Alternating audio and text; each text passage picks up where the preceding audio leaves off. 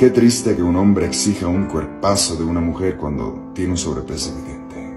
Que desea una mujer con una dentadura perfecta cuando él tiene podrida la boca y su vida. Que desea una mujer arreglada, bonita, que huela delicioso, cuando él tiene un aliento de alcantarilla y un guardarropa que no combina ni con la noche, mucho menos con el día.